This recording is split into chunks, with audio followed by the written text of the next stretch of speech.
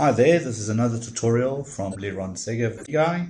Um, in this particular tutorial, we'll be talking about how to have emails replied to somebody else.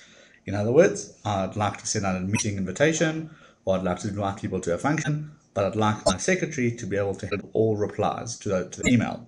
So how do we do that?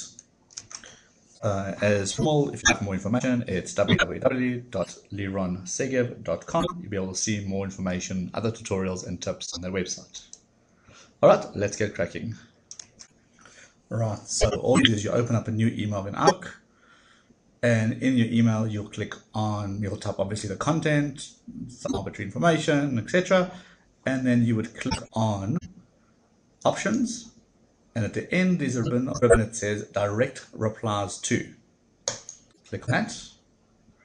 When you do that, you'll see a screen that will pop up and the part that we're interested in is over here. This one will say, who do you want all replies directed to? In here, you can put in anybody's email address. You can select from the address book and anyone that presses, that presses reply to your mail, that person will receive that reply and not you. So it's quite straightforward. Type in anything, click in OK, and you're good to go. Once you've done that, simply carry on typing your mail, address it to whoever you need to, press the send button, and you don't have to worry about any replies. So that was fairly straightforward, a couple of simple clicks, and you don't have to worry about any of those replies of those mails. Um, once again, www.lironsegev.com. You'll be able to get more information and other information and other tips. Until the next time, cheers.